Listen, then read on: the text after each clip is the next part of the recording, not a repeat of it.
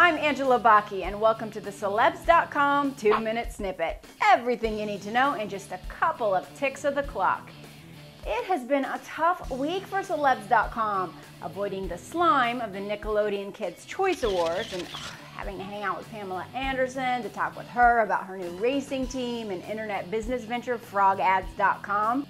Then sacrificing ourselves to hang by the pool at the Thompson Hotel in LA with a couple of Victoria's Secret angels, South African Candice Swanepoel and Aussie Miranda Kerr. By the way, guys, their tips for wooing an angel just be yourself. That's all, just be yourself.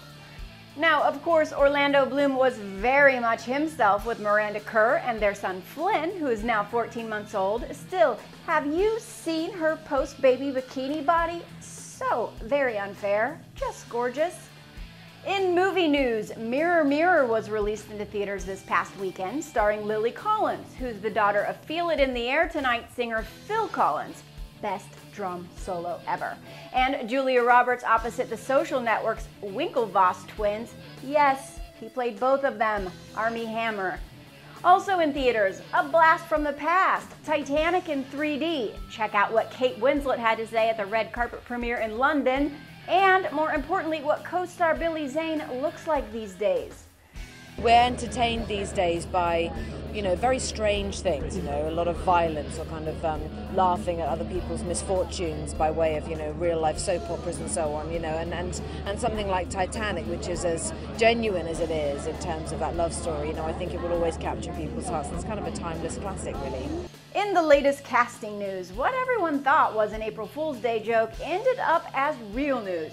Ashton Kutcher, who plays an internet mogul on Two and a Half Men and is a real life investor in Foursquare, as well as the guy who racked up 1 million Twitter followers speedier than any of his contemporaries, will portray Apple founder and all around eye genius Steve Jobs in a biopic called, well, Jobs. What do you think? Is that a good casting decision or will audiences revolt? Who would you rather see? Spider Man's Andrew Garfield perhaps 50 50 and G.I. Joe's Joseph Gordon Levitt? Let us know. And now, on to Who Won the Week. There is no doubt we are going to be hearing about the Hunger Games for at least the next few years. But it's really the film star Jennifer Lawrence, who's received an Oscar nomination for Winter's Bone a couple of years ago, who is stealing the show. Reportedly paid what would have seemed like the fair amount of $500,000 for her role in the independent studio film, but now that the film's grossed over $250 million in just the first two weeks, and likely to take the crown for the third consecutive week over American Reunion and Mirror Mirror, the production people will be hitting their calculators to figure out just how much of a bonus is the right amount for the face of their franchise.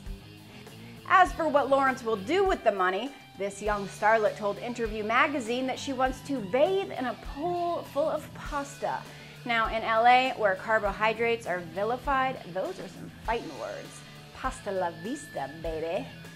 So, speaking of pools and baths and five star hotels, I just came back from the Mandarin Oriental in Vegas where they treated me oh so right.